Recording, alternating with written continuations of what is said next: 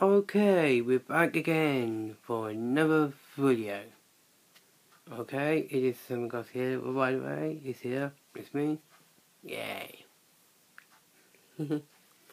okay, we're going to out we're going to outbreak of Australia. We moved the doing rescues to be ever made to rescue poor boy named Cody is The Rescuers. Yes, it's really great film. It's really great. So this film has got no songs in it. How classic is that? Yeah. Um, this film, it looks like from a game. It's a game, isn't it? Yeah. Like, um, some um, somebody had yeah to um, or reading and all that.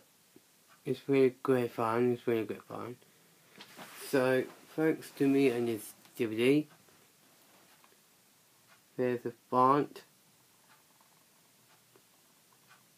and spine and a back.